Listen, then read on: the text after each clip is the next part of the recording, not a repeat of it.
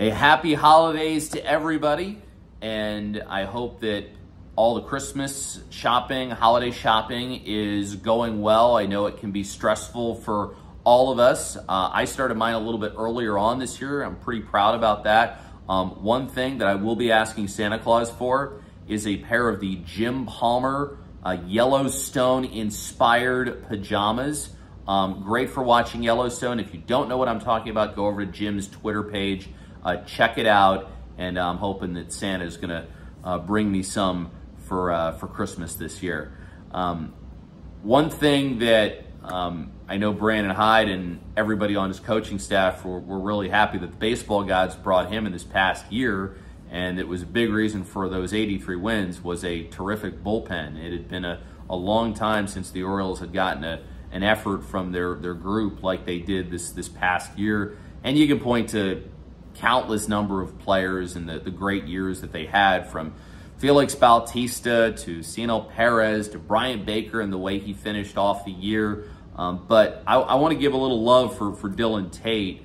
Um, another year for Tate where he gives you over 60 appearances in a season, which was really big for this team because of how much they leaned on the bullpen. And later on in the season, you got a little bit more length from your starting pitchers. But for most of that year, you were you're really leaning on that that group of of relief pitchers to, to do its job. And they were able to, to constantly go out there and deliver the quality and the quantity that the Orioles needed. Tay was a big part of that. And he's given the Orioles 60 plus appearances in each of the last two years. There's no other Orioles reliever that's been able to do it like Dillon Tate has.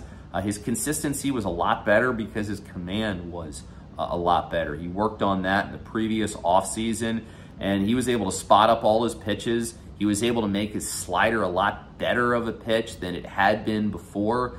And then it allowed him to use his changeup more to right-handed hitters. And so uh, hitters came up sometimes guessing, what is Dillon Tate gonna gonna give me to, to hit? And, and when he went out there, he produced results time and time again and uh, took the ball all season long. So having somebody like Dillon Tate was was invaluable on what was a very young uh, and very unproven uh, pitching staff. And he'll be back with the team this year. He's going to be arbitration eligible.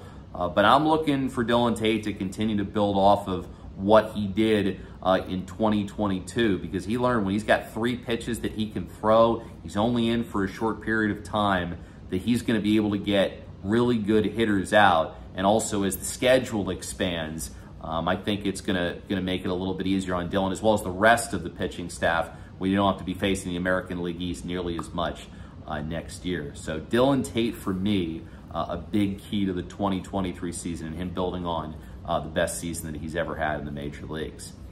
Happy holidays again to everybody. Uh, travel safe, enjoy the time with family and friends, and uh, we look forward to talking to you during the new year.